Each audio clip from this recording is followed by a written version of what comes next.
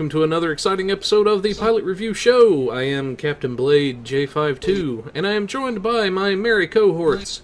We have this week with us the teacher of the Kirby variety, Hey, hey, hey. who's the crazy chick dancing on the Dabo table. Yes. I'm always the crazy chick.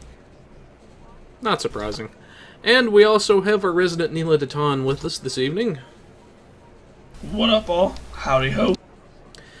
Our resident uh, RP hologram Artie will not be joining us this evening. He is planning a 4th of July party, but hopefully we'll have him back this next week for more shenanigans and everything. But, anyways, we've got quite a bit of stuff to get through this week in news for you guys, so let's go ahead and dive right into everything. Now, the first big thing we have is the Multi Mission Explorer bundle that is coming to the consoles. Now, for those people out there that loved the Vestas, or may even on console have purchased the Tier 5 versions, you will now have access to the Tier 6 versions that uh, are coming your guys' way. This is a pack of nine ships, assuming you buy the Mega Bundle and everything. You get um, all three Starfleet variants, all three KDF variants, and all three Romulan variants. Now, it should be noted that the Romulan and KDF variants are new, as there were not originally any Tier 5 versions of the multi missions for KDF or Romulan. But um, you can kind of see what some of them look like and everything. I think they give. They do give some stats for each one. We'll pick. Um, pick the Starfleet version of the Strategic. Everything. For the Starfleet Strategic, you start out at 32,775 hull at level 50. You get 38,000 hull at level 60. This is base hull, keep in mind. Shield uh, strength modifier of 1.4. It is a 3 3 layout, 3 device slots. You get a Lieutenant Tactical Seat, Lieutenant Commander Engineering, a Commander Science, Ensign Universal, and a Lieutenant Commander Universal slash Temp Ops. So, very flexible bridge officer seating. Then you get four tactical consoles, three engineering, and four science with a base turn rate of 12. Then you also do get the subsystem targeting, the sensor analysis, and secondary deflectors. It does have one hangar bay as well. Then you also get the console, the omnidirectional tachyon wave siphon, as well as plus 10 to shield and aux power. And you get the Science Vessel Mastery package. And then some of the major differences versus the KDF is basically slightly higher hull numbers starting out. And then I think the Romulans. Yep, the Romulans get a slightly different hull rating, a little bit lower at level 50, a little bit lower shield strength, but for the most part, the strategic ships are pretty much the same, aside from some minor differences. But um, you can kind of see one of the consoles in action there. That is the, I think that's the Tachyon Wave Siphon there. But um, there's a lot of stuff we could go into with these particular ships. I'm just going to kind of be glancing over the stats with the camera and everything. But um, thoughts from our panel on these uh, particular ships? Oh, these are excellent, excellent. And the fact that they're cross faction. Um, you know, KDF and Romulan just have a severe lack of science ships. And this, while it doesn't go a long way, at least it's starting to uh, give you something to close that gap. You were a little robotic there for a second, Kirby.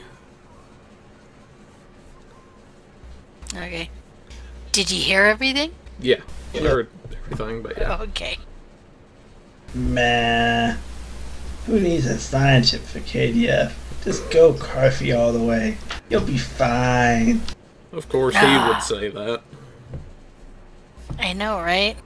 hmm Science rules. Yep.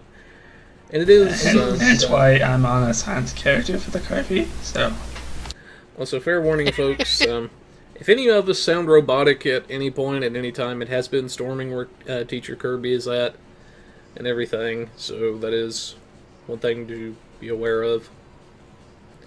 But anyway, I'm Yep. still kind of scrolling down to show off some of the stats. But um, these look like pretty good ships overall, I believe. And that's the ISO Yeah, they are. dispersal array.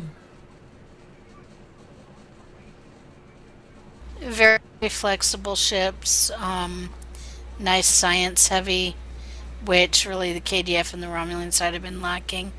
Um, I do think they did a good job with these. So yeah, Indeed. I like them. But um, in case anybody sees this later on, I know there's a lot more than just the ship that I went over and gave the stats for and everything. Because there are actually so many different ships in this bundle that you could potentially get, we could spend easily 30 40 minutes on just this one blog. So I figured just go over the one ship, kind of give you an idea for it, and then we can go from there as far as anything else goes. We will have this in the notes for you guys. I highly encourage you to check this out because these are some very potent science ships and everything, especially here on the PC. And even their tier 5 variants for the Vestas still hold up today. So, very, very great ships. You guys will not be disappointed if you're a science fan and everything. But, anyways, moving right along. Moving Yeah. right along. Do, do, do, do, do. We have the Kobayashi Maru event on the PC. Yes. So those of us who have been waiting for No One Scenario to come back, we do. And the original No One Scenario, the Kobayashi Maru. So uh, it actually it's very nice. It does start out with the um, with the line from the movie Wrath of Khan. This is the Kobayashi Maru, 19 periods out of Altair 6. We have struck a gravitic mine and have lost all power. Our hull is penetrated and we have sustained many casualties. It's first thing you hear when it starts up. It is great. Very nostalgic to hear the original sound from the. But uh, Lord, yeah, that, it's uh, roboticness. you went on Robo Kirby for better? a minute. okay. I think you're good for But uh, Think we were saying? So this is reminiscent of Arena of Sompek, but it's now for space. And uh, you do have to get, um, you have to go through rounds. The better the rewards, and the harder it gets. So, um, there are forms timed and untimed. If you take the timed one, once you reach 15 minutes in, it will finish the match and that's it. If you take untimed, it'll let you go as long as you want. Uh, the fail conditions are the or all of the team members die at the same time. So, other than that, it's uh, lots of fun, and you can, of course, it is a weekend event, so you can get the what to call it, the weekend event vouchers to earn prolonged engagement beam array or phaser dual cannons. They're both energy weapons and they become stronger the longer that your ship is in combat. They're very interesting. And let me tell you, we've, uh, You're Been doing some tests with them. super them. hard right now. am I still intelligible? Somewhat. 50 50. Okay. But anyway, you were doing some testing. Yeah, we've been doing some testing and they look uh, very nice. So it looks like the it stacks up to 25 stacks of the uh, of the damage increase and uh, it does give you haste every stacks. So very nice. Looks to be a. I think it's going to be a very nice weapon, a very good one, and the fact that it's uh, basically a free weapon is a good thing. So remember, go out there. All you have to do is do it on one character on your account, and then claim it through the deck for all the other characters. And there you go. Yep. Another thing to You have mention though until- is if you haven't started it, you probably won't be able to finish it because it ends at 9 Yeah. Yeah. 9 a.m. PST on Monday. Yes, on July 3rd. Yep. But, um, anyways, for me personally, I'm definitely looking forward to this. I mean, free stuff is always nice, especially something of this magnitude. But if you're somebody that's definitely been working towards this, I definitely see the beam being worth it and everything. And am I the only one that wants the other alternative nacelles on that Kobayashi Maru? Maybe. I don't know. I'm normally not a space Barbie be person, okay. but I don't know. I just I want those nacelles. Yeah, I'm not either. But, um, anyways, we will have the blog for you guys so you can check that out. oh, God. Oh, sorry okay about there? that. Strangled for a minute. But, um, anyways, I was going to say before I just about strangled myself, we'll have that in the notes for you guys. You can check that out. I highly encourage you folks to, um, if you've been doing your stuff, to finish it out because they don't usually give stuff of this magnitude away like this all that often. But uh, anyways, moving along, we At the have. very- Oh, go ahead. I, I was gonna say, at the very least, even if you think you can't finish it, slot it. Because one of the things we did find out, people that had leftover weekend vouchers from the Arena of Sompek were able to use them in this project. So you may be able to, the next time they do a weekend event like this, use the weekend vouchers from that event to finish off this one. And still be able to finish Yeah. the new one. So yeah, so still be and still be able to finish the new one because you can get what up to five. Yep. I believe it starts on Thursday. Yeah. Normally. Okay. Yeah.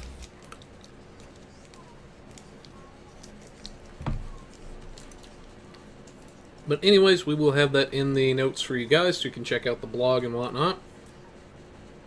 But moving right along, we have the Mirrors and Smoke Week 4 rewards for the console.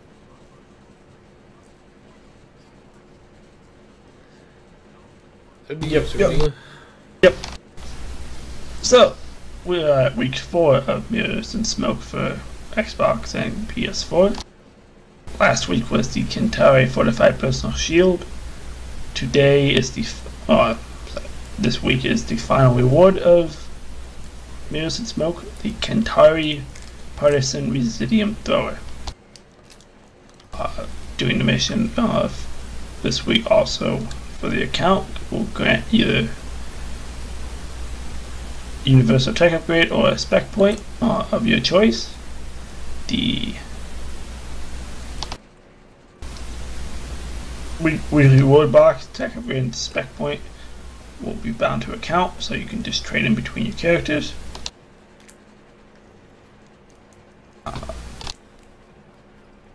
The Kentari Partisan Residium Thrower, it will count towards the excessive development set, which we talked about this last Saturday, so not much uh, need to uh, go over it again. But the two-piece gets you the Kentari armor and shield pen, shield gain for a 12.5 percent chance to temp hit points, uh, 20 percent plasma damage, and then three pieces the Residium reactive deployment, which is basically a calling bombardment of pla- plasma residium reactant, and then once it's there, you detonate it for a nice big boom.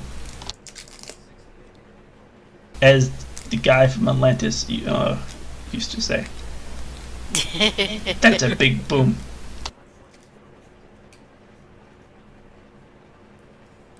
Yeah, definitely a great little set. I know I used it on my recent tune that I leveled. And the one thing I didn't actually do too awful much with was the plasma weapon, because I had one of the levelless weapons from a pack, but once I did get the plasma weapon to the higher levels, that thing was just nasty.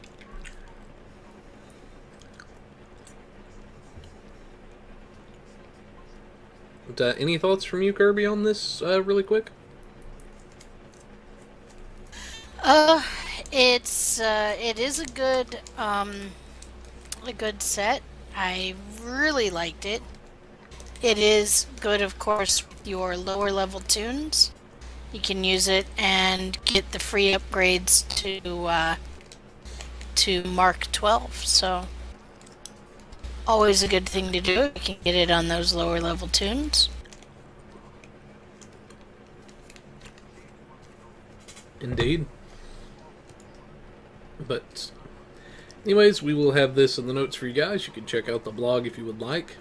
Definitely encourage you guys to go out there and at least get your Universal Tech upgrade or your spec point because that is a very nice thing to have. But, moving along, J.G. Hertzler joins the cast of Star Trek Online. As we see here, apparently from the blog, he is going to be coming back as Martok. Everything. And we also have a brief interview with uh, J.G. Hertzler that Ambassador Kael did. Everything. The article actually links to it on YouTube, so you guys will be able to check that out as well. So, basically, as the blog asks, where has he been for the last 18 years? That raises the question. But um, J.G. Hertzler was a very uh, well beloved character in the DS9 series and uh, whatnot. But um, yeah, I'm definitely excited to see what he brings to the table for this and everything, and how they say Martok has been alive or all that goodness. But anyway, thoughts from our panel? It's Martok. Yay! Cry havoc, and let's slip the dogs of war. It's a war. Yeah. No, I mean Martok has been one of the characters that, you know, at least in my TeamSpeak, we've talked about. Oh, I'd like Martok to come back, and then someone would but he's been dead. How would they do that? Well, now we'll find out how. So- Yeah, pretty much. All I gotta say though is, I have a feeling J'mpok's in for a rude awakening. Yeah. I would say that, or I get Yeah. distinct feeling for me personally that, and I was actually discussing this with Kirby at some point, that there may have been some kind of backroom deal that went on, such as J'mpok assumed the chancellorship, and in order to get Martok out of there, they pretty much, quote unquote, killed him in a duel and everything, and mainly because they saw some bigger threat to the Empire on the horizon. Now, I don't know that that's how they're going to spin it. That's how I personally would have spun it if it was me, but uh, we'll definitely be looking forward to this. I point you on that to the next blog. So the next blog is our season 13.5 comes to PC on July 18th. So not only do we get our brand new Endeavor system, which we've talked about in previous episode, and the brand new Admiralty campaign featuring the Latinum hunting efforts of the Ferengi, again, which we talked about in previous episodes, but we also get a new episode, Brushfire. So, in Brushfire, our new featured episode, players will be contacted by legendary Klingon General Rodek, voiced by Tony Todd. He's found a secret prison run by the Son'a, the alien race from Star Trek Insurrection, and needs your help to rescue a special prisoner. That prisoner, captains will come to learn, is former Master Martok. So there you go. Handed in a prison run by the Robot. Son'a. Attack of the Robo Kirby's. Attack of the Robo Kirby's. Alright, so somehow Martok ended up in a prison run by the Son'a. So there we go. How that happened, we don't know. We'll have to learn by playing the episode. Mm-hmm. Yep. Alright, and other than that, we have our new Endeavor system, which offers new challenges every day, and our new Admiralty campaign, which, of course, gives you a way to earn EC, Latinum, and dilithium. Remember, rule of acquisition number 18. A Ferengi without profit is no Ferengi at all. Indeed. Comments? Questions? Yes. I personally, for the Ferengi Admiralty campaign, or Admiralty as I like to say, just to annoy you, is. There it is! There it is! I'm honestly. Yes. I knew they would bring out more campaigns, though I'm surprised that since we already have the Federation campaign, which can give a pretty good chunk of dilithium and everything, I'm honestly surprised that they gave us another one like that. Klingon Or Klingon campaign, whichever one it is, Federation Klingon. Federation is spec points. Klingon still lithium. Yep. Thank you. But uh, anyway, whichever one of that bunch it is, the Klingon, the Feds, the whoever, everything. I'm honestly surprised they brought in a second one that gives a pretty good dilithium reward at the end of it. I did not think they would do that.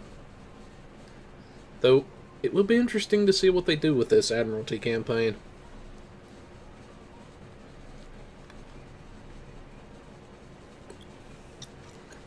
Any comments, Neela? Not really. But I'm just waiting for it to uh, launch just to get a better understanding of it. Well, it is on Tribble if you wanted to test it out. Yeah, no. That is true. For, for, st- for small stuff like this, I don't really like to test it. I'm just like, eh. But if it's like, if, if something bigger, then I would test it. But anyways, we will have this in the notes for you guys. You can check out this blog if you would like. It is over on Tribble at the moment, some of this stuff, if you'd like to check it out. But uh, anyways, moving along, we have the Marks weekend for the console. Yep. From started this Thursday, the 29th of June, and it goes until this Monday at 10 a.m. PST, where everyone on console will be able to get uh, bonus marks for playing any content throughout the game. Content that provides fleet fleet reputation will reward 50%, 1.5 times bonus above normal amounts. It's available for all content that rewards the marks, including the 30 new reputations that came with console, with Agents of Yesterday. Captain, oh, work on your fleet projects and reputation.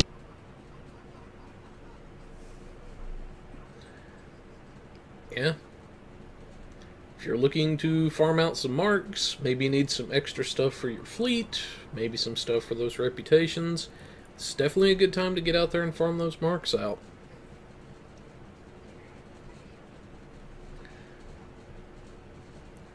But, uh, anyways, not really too much we can say about that, I don't guess. But, um, anyways, we will have the blog all the same for you guys if you'd like to read it and everything. But moving right along, we have the PC patch notes for the 29th. This was this past Thursday. You can see not really a lot to them. Everything, they brought in the Kobayashi Maru event, played the Federation's Ultimate Test as a limited time challenge for all captains level 50 plus. Play a 15 minute timed version or an untimed version for greater challenges and rewards. In addition to standard dilithium and R&D rewards, playing at least once a day for 3 days will unlock the special reward. We already went over that earlier. And then for the general, resolved clipping issues with the female versions of the summer shirts and wetsuits, added weekend events to the calendar for July, and the hull repairing nanite's reputation trait tooltip has been changed to more accurately display its functionality. It is purely a cosmetic thing and does not change its overall effectiveness. Thank God for clipping issues on the summer shirts. That was rage inducing. Like I said, not really a lot to this particular set of notes and everything. They did do a second patch the next day, sort of an emergency hotfix, whatever you want to call it, and everything. And we do have the notes for that. Everything coming up on It'd be the the second one. 30th. Let's. Um, anyways, for this particular one, basically changes to the Kobayashi Maru rewards and some fixes with that. Resolved an issue where the prolonged engagement weaponry would not unlock for characters on an account where one character had completed the project to unlock the weapons. Newly acquired versions of the prolonged weaponry will come at ultra rare instead of very rare. Existing versions will not be altered, however, when put in the upgrade system, they will convert to ultra rare automatically. The prolonged engagement weaponry now have 4 and 8 damage modifiers instead of 2, and that will change uh, existing weapons. And then the prolonged engagement weapons are set to character bound as intended.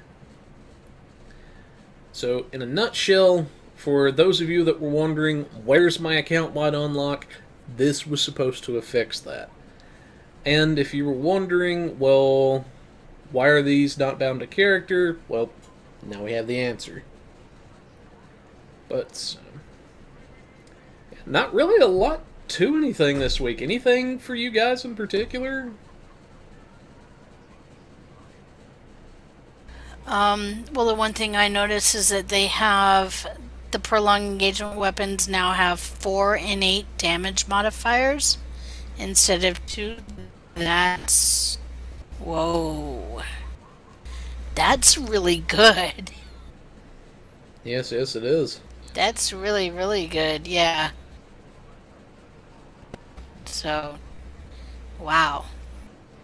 And then okay, they come at ultra rare instead of very rare. That's that's nice, but not a huge thing. I can see that. as well. Yeah. And I am glad that they've uh, resolved the um, the unlock for the account unlock for the weapons because that can be very frustrating. But yeah, now these definitely fix the bugs that were uh, were with Holy the Robo Kirby's. for sure. I think I think she's alive. Okay. I'm alive. There it goes. But, Okay. Anyways, moving along to the next big thing, we have the 20% pack sale on PC. I think we missed something. Missed What did we one. miss? Missed a story block. Storyblog? Retaking the test.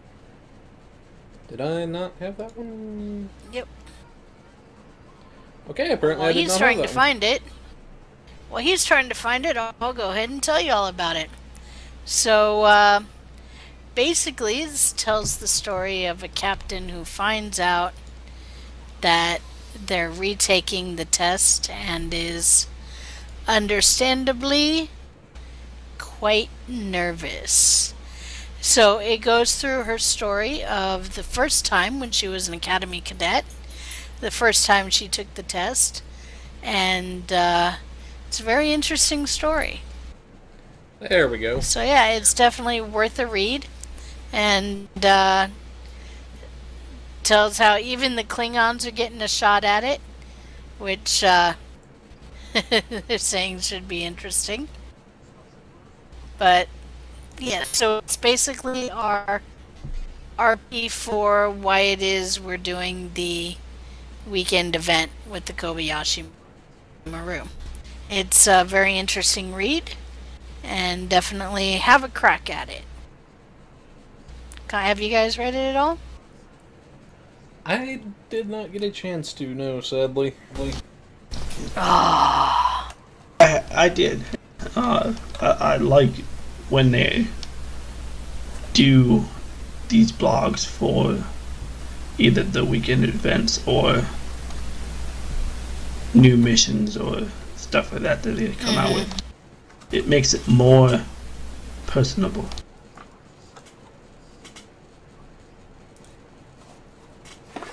Yeah, it does. I can kind of see that, I guess. But, anyways, we don't really want to spoil too much for you guys and everything. Yeah. That's, um. I, know, tried not to. I know whenever we talk about the RP blogs, we don't really say a lot about them, but you know, we understand that there's some people out there that would rather read it for themselves, so aside from giving away just very, very basic stuff that's not going to spoil the story, we try to leave as much for you guys as we can. But, um, yeah, after my derpily do of missing that one, anyway. But, um, And it is also apparently the first story blog written by Ambassador Kael. interesting. Yes. Yes, remember. Yes, I do remember. Yes. It might, it might be that down there. But someone else might wrote it. No, he's he was uh, quite proud of it. He did mention it. Oh, okay. Okay. Yeah. Well, I'll definitely give this a read then, because that should be interesting, knowing how, uh, knowing how, uh, some of Kael's exploits Yes. are. But So. will be interesting to see what, uh, he came up with. But anyways, now finally, we will have this in the notes for you guys, by the way, now that I've actually got it pulled up this time. Before we move on, I challenge you to find the sentence that made me have an aneurysm. Let's see if I can't do that after the show. In there. But, uh, Yeah. Anyways, all jokes aside, like I say, we will have this in the notes for you guys. You can check this out. I highly encourage you guys to check out the RP blogs and everything because they're usually pretty good reads and everything. And especially being Ambassador Kael's first, definitely throw some support and stuff his way as well. But moving along, now we have the 20% pack sale on the PC. This one. too. Doesn't mind. hmm Yeah, I thought it was Neela's. I thought it was too. But anyway, No, I, I want the next. anyway, I'll roll with it all the same. But, uh, anyways, as far as our PC pack sales go, this is the packs such as the Temporal Agent Starter Pack, the Big Giant Temporal Agent Pack, the Delta Rising Pack, the Legacy of Romulus Starter Pack, and the Big Giant Legacy of Romulus Pack. Now, these, you have to purchase them through the ARC website in order to obtain them for the sale prices. The sale started on the 30th, so that was just, I believe, 30. Thursday. And then they will be running until July the 5th. Now, some of these packs you get a pretty good bit of stuff with, especially the Delta pack, the Big Giant Temporal Agent pack, and even the Legacy of Romulus pack has a pretty good collection of stuff in it. Now, if you're looking for tier 6 ships then I would advise the Delta Pack or one of the Temporals because you don't really get that much Tier 6 wise in the Legacy packs. Actually, I don't think you get any, if I'm not mistaken. But that was because mainly Tier 5 was the max whenever the Legacy pack was released. But um, as far as some of these packs go, I'll go ahead and actually pull up the pack in game if I could not fail at the C store. As far as um, the packs, I actually went out and bought the Big Giant Temporal pack whenever it came out. So let me scroll down. I will find it somewhere in here. There it is. Alright, as far as what you get in this particular pack, you get a pretty good sizable amount of stuff, as you can see in the images there. You get the Constitution Class TOS ship. This is the low-level Tier 1 ship. You get the Temporal Science Vessel, the Daedalus. This is the Tier 2 leveling ship. You get the Temporal Escort Perseus. You get the Ranger class, which is the Tier 5. In fact, that's the one we did our budget build series over uh, before this current one. You also get the Gemini class. This is the Tier 6 version of the ship. Actually, no, that is not the Tier 6. That is... Um, That's tier four. that is Tier 4, my bad. I'm getting a little ahead of myself there. Then we have the Paladin Tier 6, the Nautilus Tier 6, the Sagittarius, Theseus, and the multi-mission science vessel Eternal class. You also get the Kronos Tier 6 and the Ouroboros class Tier 6. Now, we should mention that um, a good chunk of these ships are Starfleet only.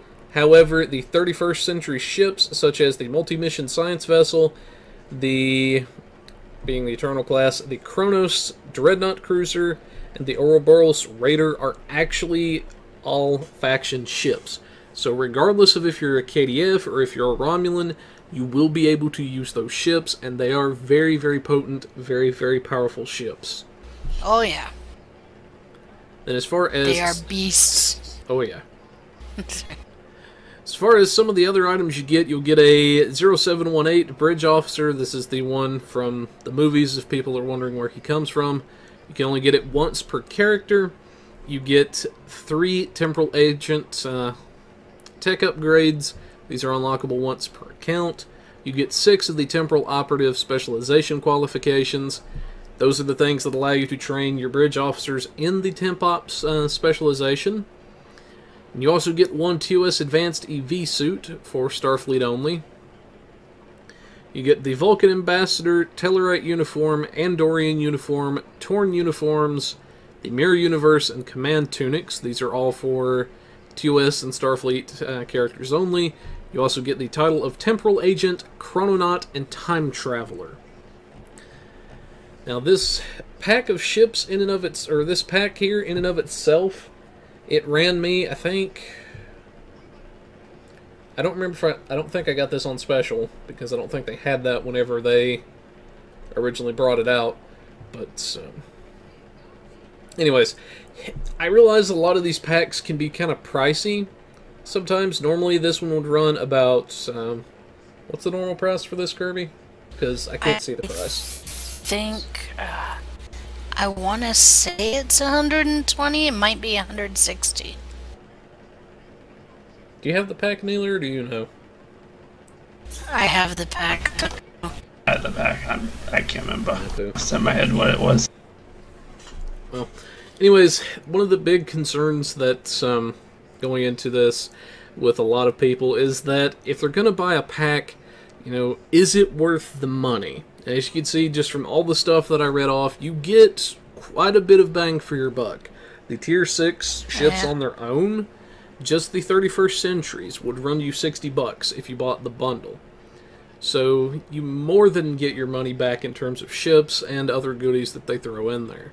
So this is. Oh, go ahead. Sorry, I did find the price 130.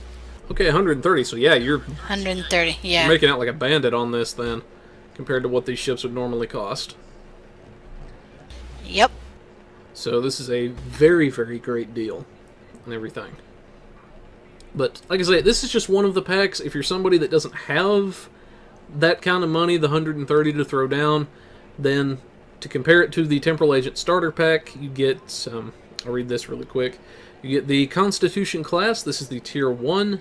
You get the Paladin Temporal Battle Cruiser, the uh, TOS Ripped Uniform, the 0718 Bridge Officer, and also the Temporal Agent title.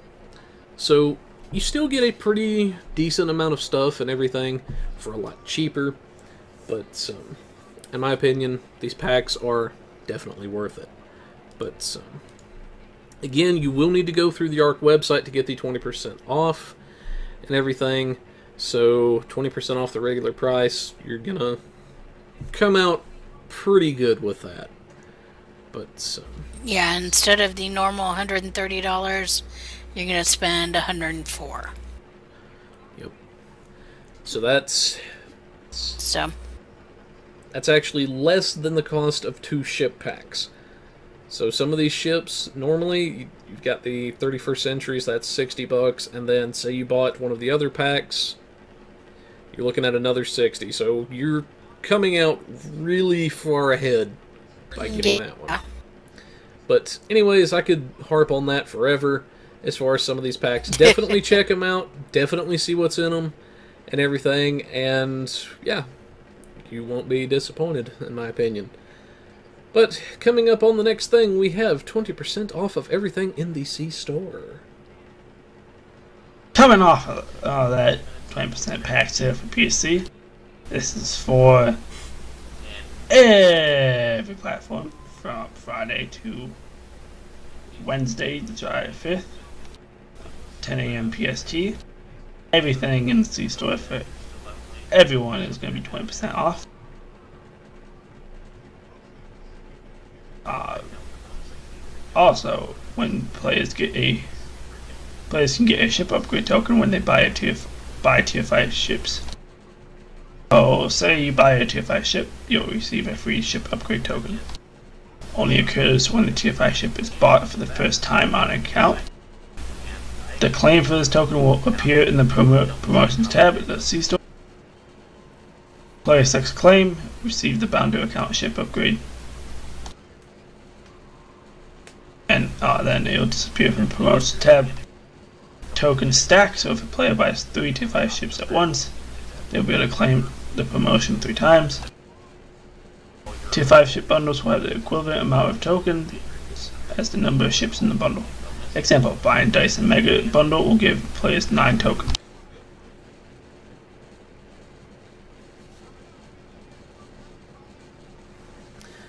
So yeah, definitely a very great time to invest. 20% off everything, that's absolutely nothing to sneeze at out there.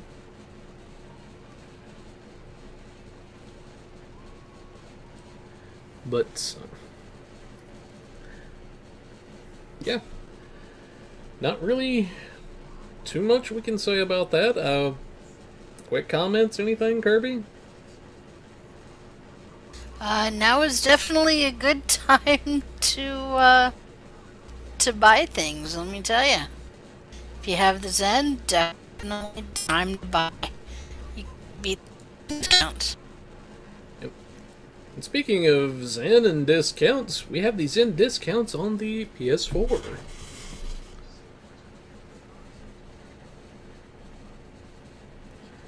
I believe this is you, yes, Kirby? we do.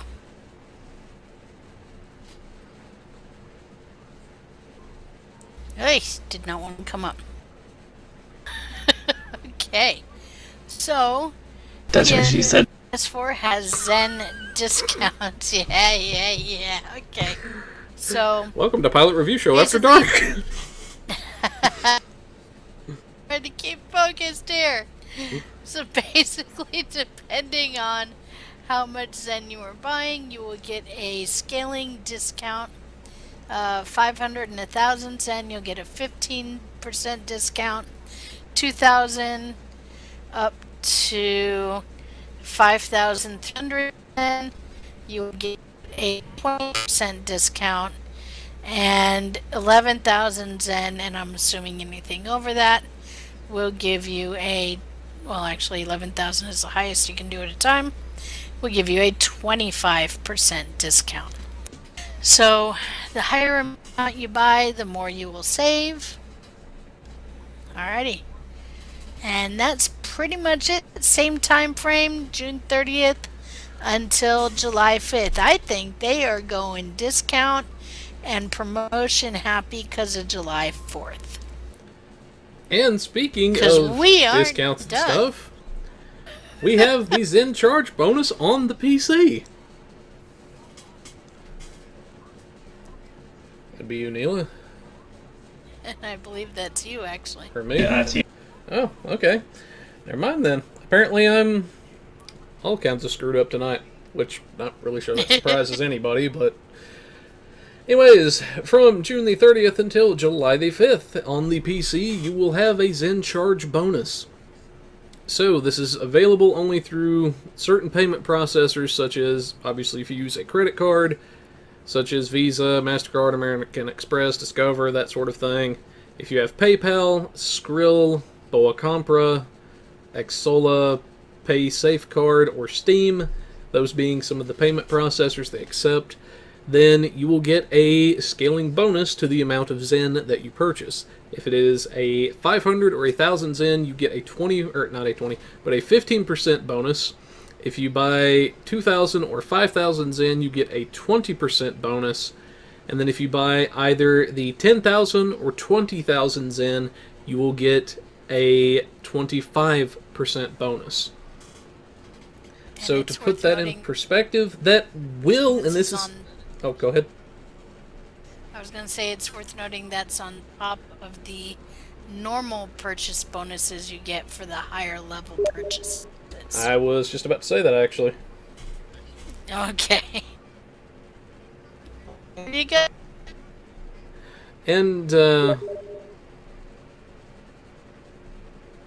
actually, Brad, it does benefit and everything according to this. But um, for Steam users, if you are having issues with getting your bonuses, then please let them know because that is a very huge deal and everything. But um, anyways, as far as those bonuses go, for me, I actually bought some Zen recently, everything, just because I wanted to pick up a few things from the sale. And you can see, let me bring up my C store again. What would normally have only netted me 11,000 Zen ended up netting me 13,500. So there's a pretty good bit of stuff that you can get right now. So the bonus Zen comboed with the discount, you're essentially getting, at least at the $100 uh, level, 45% additional purchasing power, if you want to consider that. That is not something to sneeze at at all. But finally, bringing us to our next and final big sale, you have the Key Ring Bundle for the PC. Oh. Alrighty. No, it's for all platforms. Oh, is it for all platforms? It's for Yep. all platforms. Okay, my bad. It's just listed in the PC it section then. Okay, that totally threw me Because- off. Yes, it is. Down there, it will in the blog.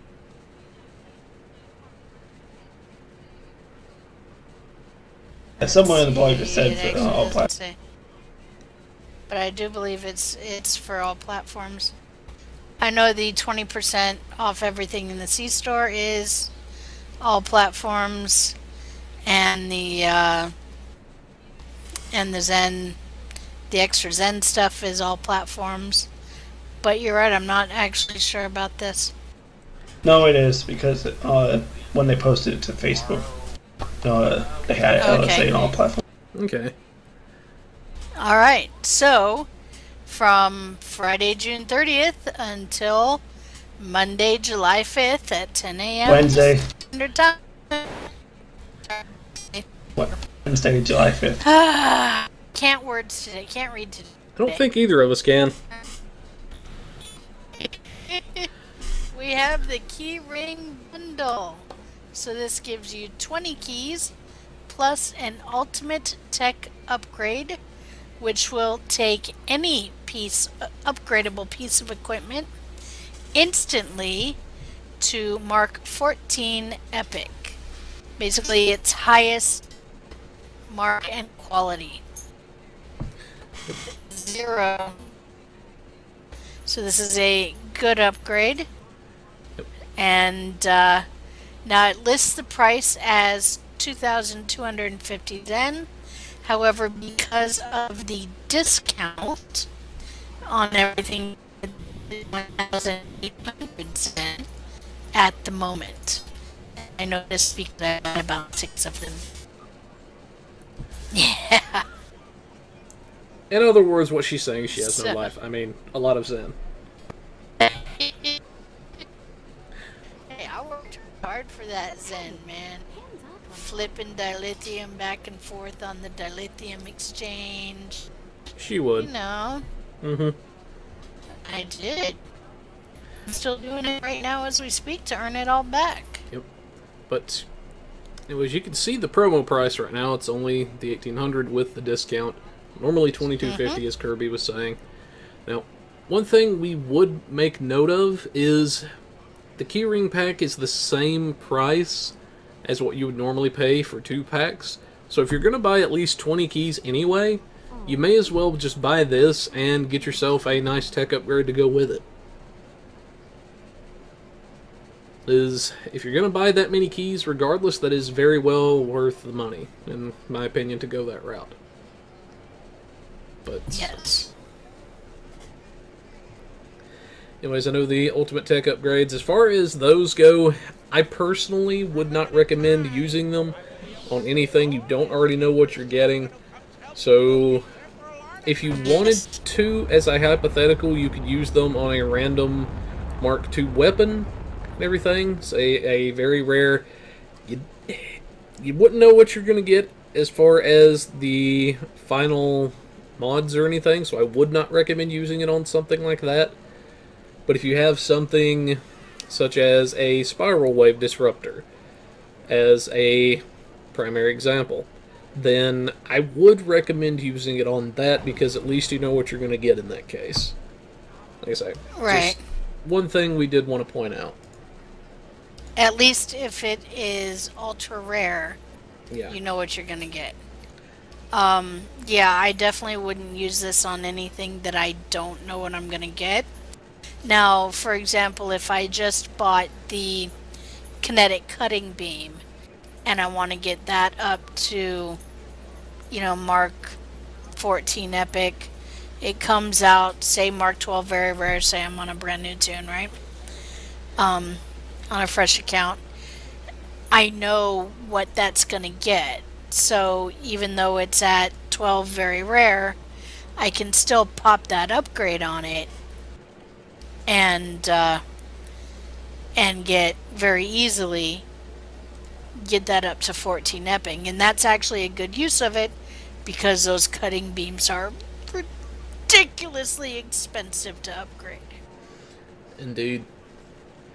Yeah. Yeah. I say that is one thing we do like to mention because because of how expensive these upgrades are to acquire in terms of the Zen and cash potentially that's involved. We want to be sure players have all the information and everything out there. But um, anyways, that's pretty much our news articles and stuff. Now we could finally dive into this week's budget build. But um, as far as this week goes, we're continuing our series with the Amari class Smuggler's Heavy Escort and everything. We took a break from our series last week to show the budget shuttle build at the request of a viewer and everything. Now, the last time we featured this ship, we did the bare bones budget build for the ship. We showed what you could get and a possible way you could build the ship if you just picked it up. And if you remember, as far as our budget builds go, they assume in the case of um, the mid range for this week that either you spent a lot of resources to get the ship, what you have left is what uh, you're working with, either you happened on the ship by just pure dumb luck, or however you came about the ship, We assume for mid-range you have about 30 million EC to work with as your maximum budget, and we also assume you have enough dilithium to take one single item up to epic quality. And everything. But um, as far as the changes to the ship go and everything, there's not really a lot that we did change. We did invest some EC and everything into it, but um, as far as our weapons go, we did decide to take this down the Polaron route. Now, one thing I will make note of, and I believe I did the last time that we mentioned this as well, the ship itself is actually a 5-2 layout and everything. Whereas the builder here has it listed as a 4-2, so it is actually missing a, another weapon slot that should be there. Now, as far as the weapons go, we decided to take this mostly a dual bank build. Now, we're using the dual beam banks for the forward weapons. Now we do have the chronometric Polaron beam array up front and everything. This is mainly so we can actually benefit from the chronometric three-piece bonus everything. Otherwise, um, this would be a dual bank. Sadly, the chronometric set does not come in a dual bank variety. It comes in either a beam array or a dual heavy cannon, which um, kind of wish they'd do dual bank varieties, but Anyways, as far as our aft weapons, we have two of the Polaron Omnis. We have a crafted Polaron Omni purchased from the exchange. And we have our chronometric Polaron Omni, which come from the Time and Tide mission. Now, I decided to take the chronometric Polaron Omni up to epic quality as our particular item this go around. But, um, as far as our shields, our engines, our deflector, warp core, that sort of thing, now we have been using the Jem'Hadar set with this and everything because the Jem'Hadar set is very nasty when paired with Polarons and whatnot, and it is also a very good free tank set aside from Soul Defense and everything and some of the others out there. Now, since the Jem'Hadar set does not come with a warp core, we had to source a warp core and the one that we used is the temporal phase overcharged core. I know it's a shocker that we're using that thing again, but um, in seriousness, the temporal phase core, we use it a lot mainly because of the capacitor that it has. It is one of the best free warp cores that you can get out there. Everything. If you're familiar with the Delta recruitment event some years ago, then you're familiar with a little device known as the Temporal Negotiator. And basically what that device did was it allowed people to cut their bridge officer cooldowns in half for the duration of the device, and that is essentially what this does in the form of a warp core capacitor. A very potent thing, you get that from the Butterfly mission, and it's very great. Now, the other big thing that we had is the heavy weapons thing that you get here. And that is um, crap. I'm brain farting for a minute. But anyway, the heavy weapons thing is the one of the new things that they've got. This is the slam shot magnetic artillery weapon and everything, but um, so very decent little weapon, I think. And as far as the devices and whatnot, um, one device in particular we always recommend is the Subspace Field Modulator. It is a very nice device that comes from the Skirmish mission it gives a nice defensive on use. However, it does debuff you by a minus 400 to protonic damage, so it can in some cases be a bit of a double-edged sword. Now, we hadn't been mentioning the protonic debuff that it does because not enough enemies used protonic damage to really warrant saying anything, in my opinion. But since some more enemies have been using a few more protonic-based abilities, it is something we do want to mention, and we want people to be aware of. As far as a second device, I didn't really slot one in the build, because I usually consider devices personal preference, but um, if you have a red matter capacitor, or maybe you've got the energy amplifier batteries, anything like that, you might could use there. As far as our engineering consoles go, we've got two slots we can use. And we used the piezoelectric focuser that comes from the Lukari rep. This is a very nice console, which is essentially a free tactical console to Polaron when used outside of your tactical slots, of course. Now, this particular console gives a nice boost to Polaron. It also, I believe, gave a little bit of turn rate and everything with it as well. I'd have to look at the exact console before I could give exact numbers. Then, for our other engineering console, we have the Zero Point Energy Conduit. This one comes from the Romulan Rep, gives a nice little chunk of crit chance as well as some other nice buffs. For science, we have our assimilated module, gives a good bit of crit chance as well as crit severity and some other nice buffs. Then, for our final three science consoles, we have the restorative particle focusers. These are the Drain X times 2s from the Krenim Science Lab and everything. Now, the restorative versions will pop potentially off of our healing abilities, give a nice exotic damage boost. Now, we went with the Drain X times 2s mainly because we wanted to buff our Polaron Drain. Then, as far as our tactical consoles, we do have the Chronometric Capacitor this is from the Time and Tide mission as well. Gives some nice benefits to Polaron. Then, for our final four tactical consoles, there aren't any missions that grant a Polaron specific console, so we had to source the plus beams. And these come from the Terminal Expanse in the Yesterday's War arc. You will need to complete all of the prior missions in order to actually see that one. As far as the skills go, kind of standard as far as the tank builds you've seen me do. We've got some improved hull capacity, as well as some hull restoration, a little bit of shield restoration, improved shield cap. We maxed out our advanced energy training. We've got the improved EPS flow for extra power, point in impulse expertise, we did pick up improved Control X and Drain X. We also picked up advanced targeting expertise to offset some of the penalty to fall and other firing modes. We've got defensive maneuvering maxed out. We also have our hull plating maxed out and everything. We have the improved shield hardness. We've maxed out weapon amplification and specialization. And keep in mind, these were changed with Season 13. With Weapon Specialization, you get a 4% bonus instead of 6 And with the Amplification, you get a 40% instead of a 20 Then with the Offensive and Defensive Tuning, we get a bit more power. Improved Exotic Particle Gens. Then we also have advanced long-range target sensors to get rid of some of the drop-off penalty to weapons. Then you have either your choice of shield pin or hull pin in this case. It really depends on what you're going for. Kirby prefers the hull pin, whereas I personally prefer shield pin.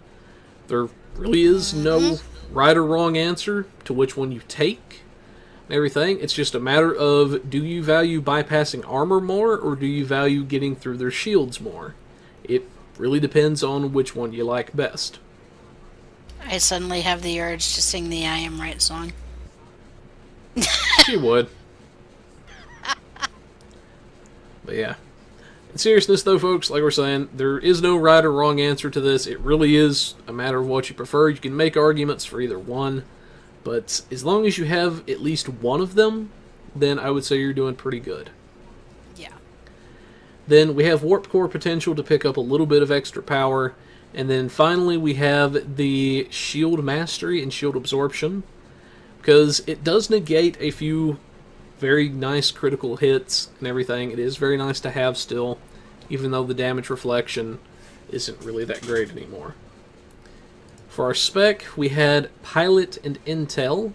Pilot mainly for some of the defensive abilities it gives. Intel, I felt, also plays very well with this ship with some of the abilities it has also and everything. But um, moving along, we have our bridge officer powers. Now, this is a hybrid ship, meaning it can take advantage of two different uh, specializations. In this case, we have a Lieutenant Commander Universal Intel seat. We made this an engineer.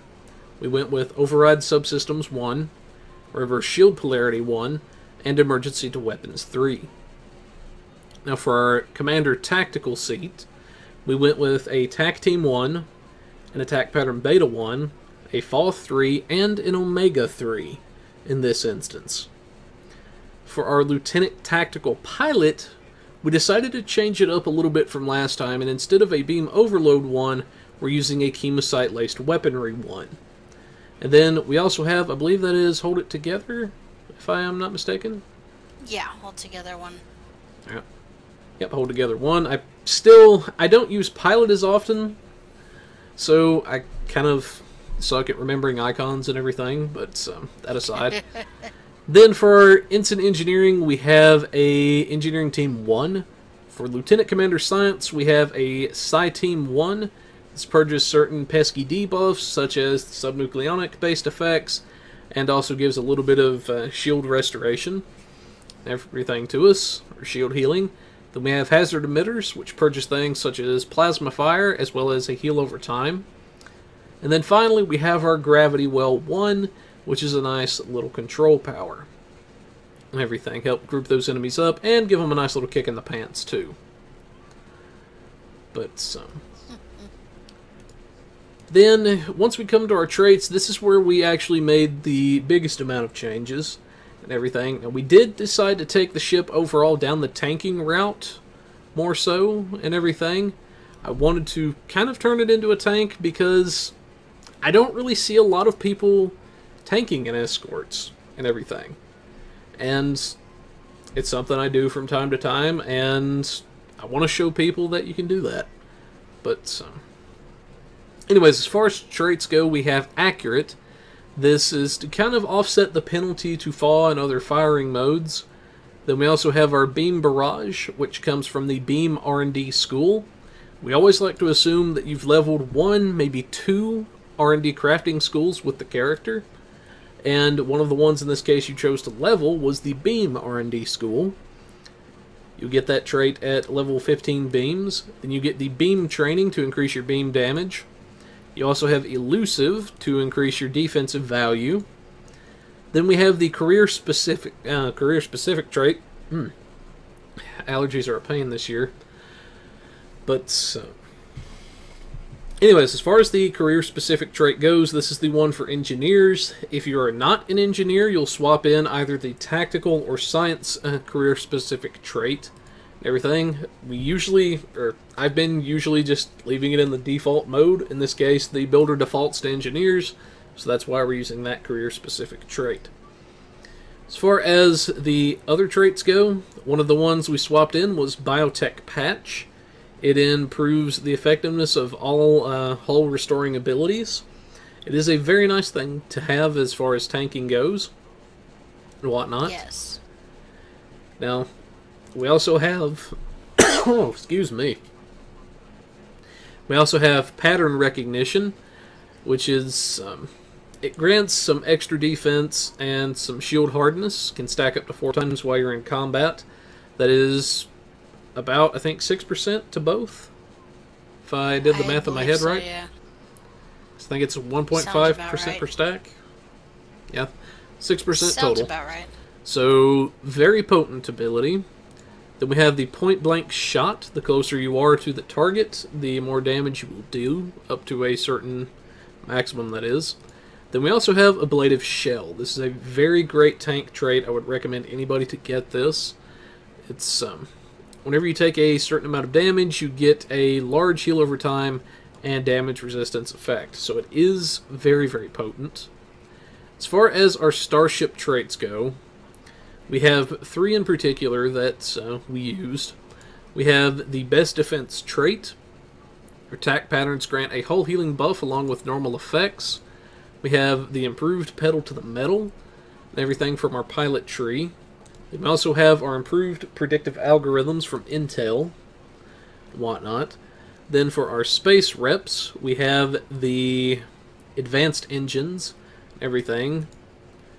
Just cause a little bit of extra turn rate, a little bit of extra speed is never a bad thing. We have advanced targeting systems for free severity. We have the chronocapacitor array to bring the bridge officer cooldown times down a little bit. And then finally we have precision to increase our critical hit chance, which is also very good. For our active reps, we have the Anti-Time Entanglement Singularity and everything. This is still a very decent power to have even today, after the changes with Season 13.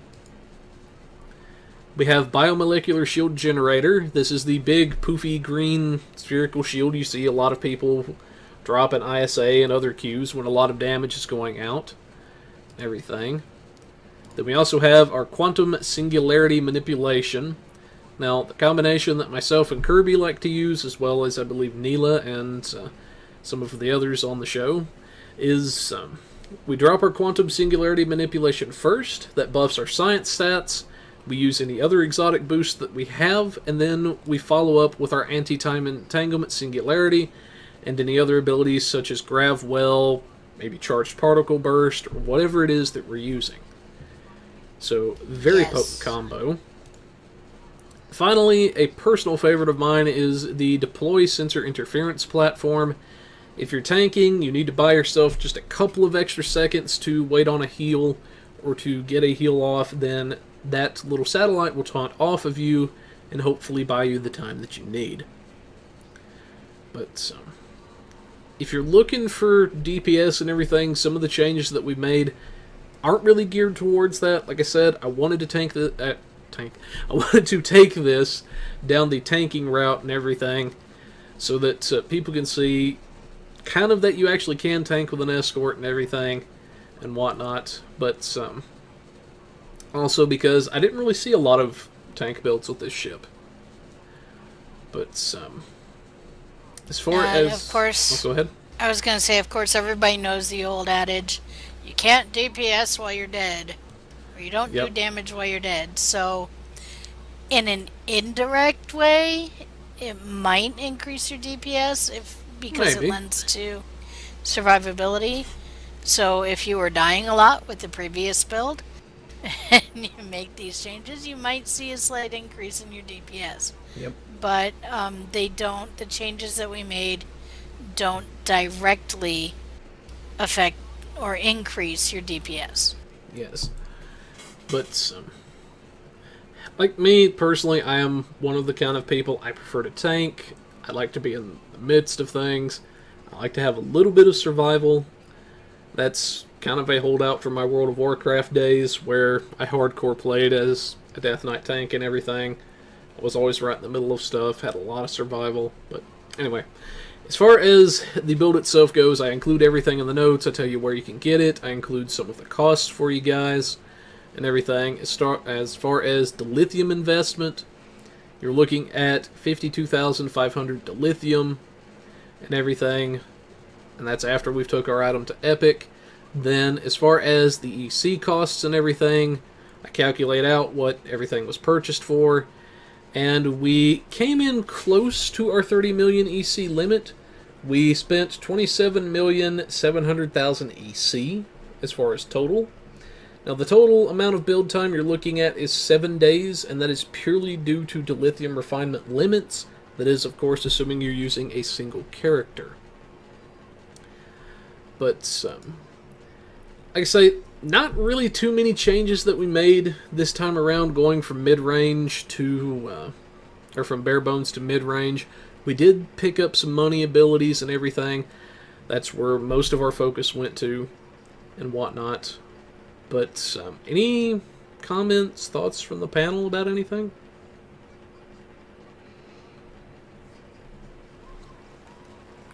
Not really. I mean, I helped you make the uh, make the changes, so Yep. yeah. Neela, you live over there? I think he's conscious. Won't swear to it. I think we lost him.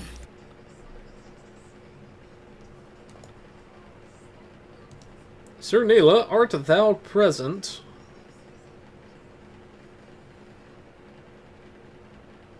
Anyway, I'm gonna moving along. I think he ninja'd. I think he did. But um, anyways, as far as our budget build goes, that's pretty much what we've got for you guys this week and everything. Next week, um, we will be continuing our series. We're going to be taking this to the high end and everything and show what the finished build might possibly look like with this ship and everything. But um, anyways, um, if you have budget builds you'd like us to do and everything, feel free to let us know and everything. Tell us, you know, hey, I want this ship, I want this energy type, I want to make it a tank, I want to make it a DPS, I want to make it a healer, or whatever you're looking to do with the ship, and you know, be sure to tell us, you know, hey, I've got this much EC to work with, and everything, and you know, any other conditions and stuff you've got, and um, we'll see what we can't come up with for you guys, and everything, because that's mainly why we do the budget builds is to give you some ideas of what you can do with limited resources. But moving along to the bugs corner, we do have some stuff this week and everything for you guys. Now, this involves the Kobayashi Maru, some stuff that I had seen reported and everything, is that people were saying that um, once you got to the siege wave, the enemies were spawning so fast, so many of them, and using so many abilities that they were actually lagging out the server in some cases, and lagging out the match to the point nobody could really do anything. So, Yes. if you're seeing that, then please let them know that it's a very big deal because if it's lagging out the instance, lagging out the server, they're going to want to know that and everything. But that's the major big thing because it is prevalent on an ongoing event with such a limited time. I wanted to kind of ask you guys, like I say, if you see any bugs at all and everything, I know I only mentioned a very select few during the Bugs Corner segment and whatnot, but if there's bugs that um, you know of that maybe you've not seen people talking about, you want the devs to know about, you know, feel free to come on to the forums and everything for uh, the bug reporting. That's why they're there, so people can report bugs.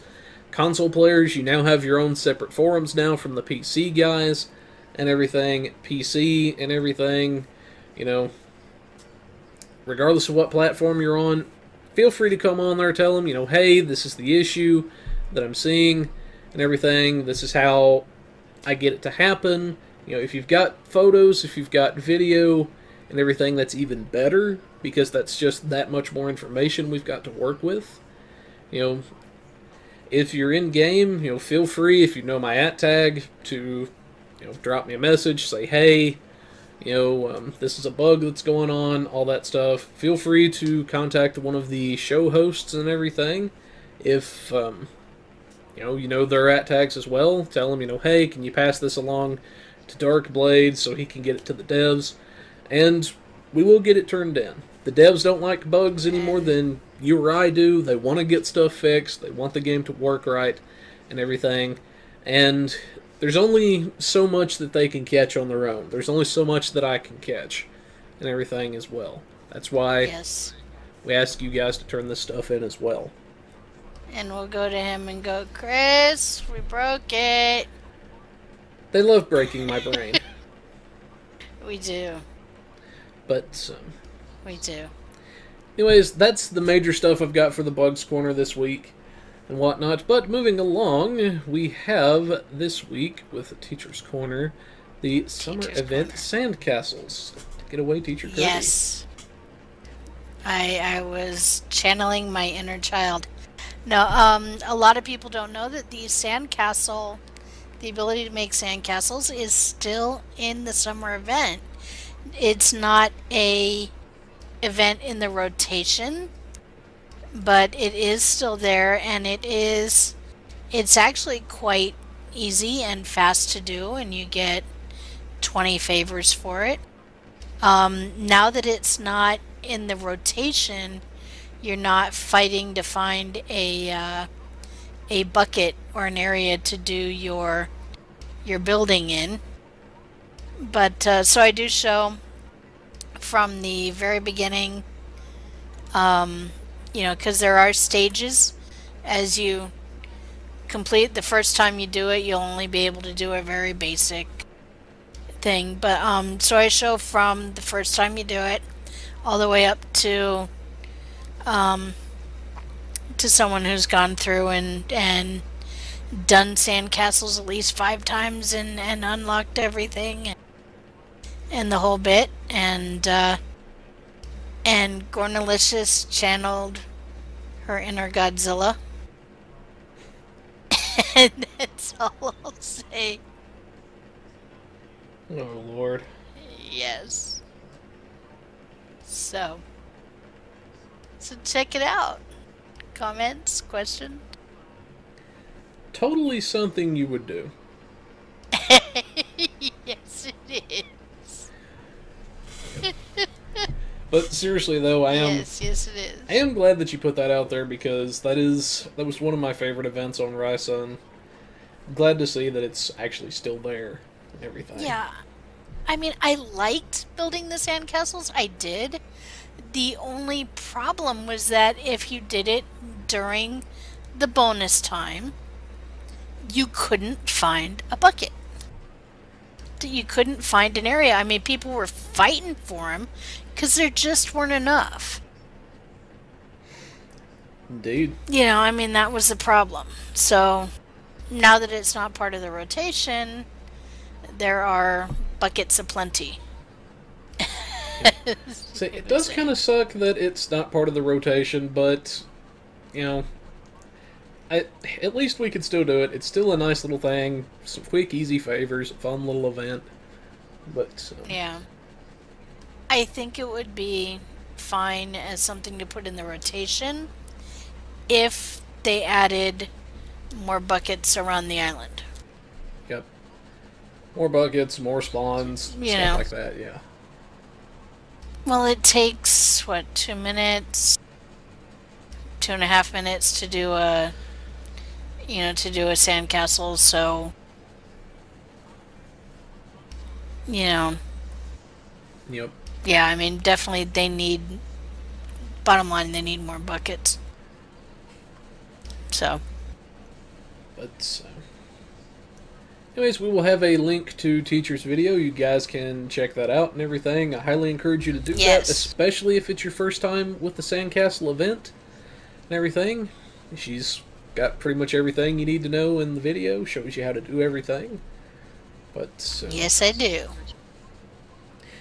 Anyways, folks, that's pretty much what we've got for a show for this evening and whatnot. There was a lot of stuff to get through and everything. Some of the things we're going to have to leave for the notes for you guys just because of how much is actually there, such as the bundle that we mentioned at the start of the show and whatnot. Also, a proud partner with the Kirtang Pirate Radio and everything. You should definitely be checking out those guys and whatnot.